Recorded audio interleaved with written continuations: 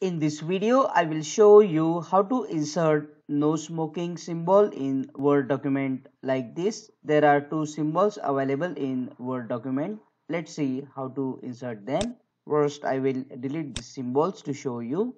In the first method, go to the insert option, click on symbols and more symbols. And now under the fonts option, select here webdings and after selecting this webdings you will see many icons or symbols. Scroll down a little and you will see this option of no smoking symbol. Click insert. To change the size select the symbol and you can change the font size from here. You can increase the symbol size like this.